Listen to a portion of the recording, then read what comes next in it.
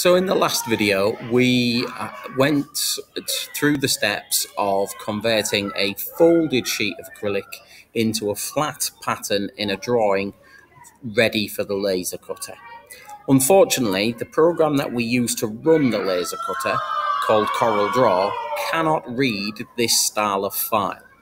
Um, but I can convert it into a file that it can read. So to do this, I'm going to go to Save, and I'm going to click on the arrow next to it and I'm going to go to save as. Now you can see here that um, it's called acrylic photo frame, just like the title, and it's saved as a drawing. And this code here means it's a solid works drawing. I'm just going to click on this downward bar here and I'm going to click on DXF. Okay, now this is a digital drawing format and you can see I've pre-saved mine here and it's got a symbol with an E on it. That's something to watch for later on. Um, so in this case, all I'm going to do is just resave this image. I'm just going to click on there, keep the title the same, and I'm going to press save. It will tell me that it already exists, but I will just overwrite it. Now I can open up Corel Draw. I've pinned Corel Draw to my to my bar here, but you will just need to look for that symbol on your desktop. Ignore this bit. You don't need to sign up to Corel Draw. And then the program opens. Um, now what I'm going to do is I'm just going to close the welcome screen down. There's no need for that. And I'm just going to go to File, New, and I'm going to make sure that the size of my paper is A3 and that my orientation is landscape. Um, this matches the drawing that I've just produced on SolidWorks. Now I'm going to go to File, and instead of Open, which I would normally do to open a file, I am going to go to Import, which is just a little bit further down. I can now go into my documents and I can search for the for the file. Now, I said earlier that the E on the symbol was very important. You can see I've got two file names that are exactly the same, acrylic photo frame and acrylic photo frame. Yep. They are separated by the pictures. This one is my SolidWorks drawing, and it is actually identified there. And this one is my DXF file. So that little E there just helps me to find that a little bit quicker. Okay, now once I've highlighted that, I can click on import and then it's going to ask me for some more information. Okay, um, the main piece of information is that I was measuring my drawing in millimeters. That's a metric measurement system, so I must make sure that that matches. And I want to bring my drawing through at exactly the same size. So you can see here that my original size was 420 420.08 by 299.30. The new size is exactly the same.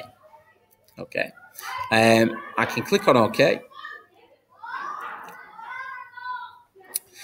It has got a little bit of an issue with the text, but that's fine because I'm actually going to delete the text. Okay, and now it's just going to ask me where I want to put the photo. Now I'm just going to put it up in the top corner. I'm just going to do a single click don't be tempted to drag and drop a box. Um, if I just import again, if I just open up the image one more time,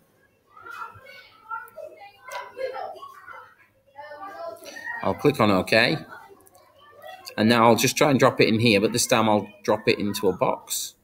You can see that my entire the entire image has been fit into that box, which means this is now no longer to scale.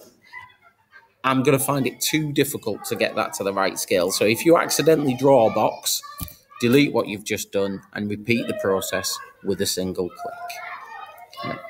Now, there's a lot of stuff in this drawing that I don't actually need for the laser cutter. So I'm going to use the select tool. I'm just going to draw a box around anything I don't want to keep. And I'm just going to press delete on the on the bar. Yeah. Do the same thing with the individual items I couldn't get in the box. And then I'm going to zoom in and I'm going to get rid of this text information here. Like I said before, um, the text information isn't important.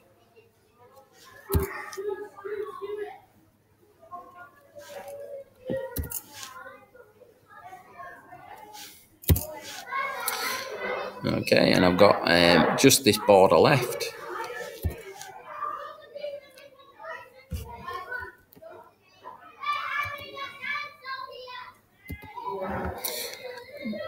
Now that this um, drawing is in is set up, I just need to be able to instruct the laser cutter to cut it.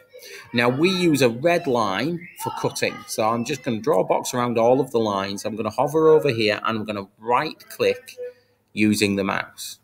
And you can see that the lines have been turned to red. We have also set the laser cutter so that it will only cut out a hairline. And if we have a look here, it is the thinnest line you can possibly get. Okay, this will mean that the laser cutter will only make one cut as opposed to um, as opposed to several cuts. It will save time and it will also save the laser. I can now save this file um, as something suitable. I would probably call it cutting template.